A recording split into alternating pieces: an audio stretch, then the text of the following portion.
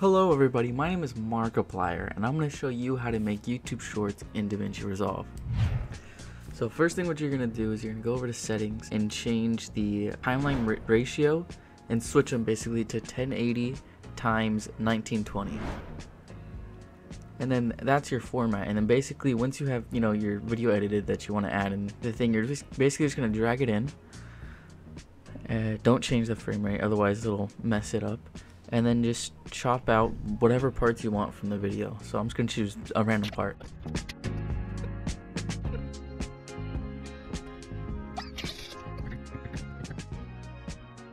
Some of you might just want this, but like you can go and add text, which I, I, I taught I taught, taught you how to do. There's other tutorials if you haven't seen them that you can go check.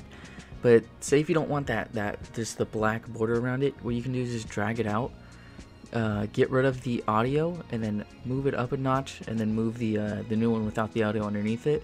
Zoom in and then go over to effects go to box blur and then just drag it onto the main one and then just change it to whatever you want in the effects. Just so it's not just the the black. It'll catch people's eyes more and you can just mess with it. And then you can go and just add you know whatever else you want. And then once you're done with everything go over to deliver and export it. And that's it. See ya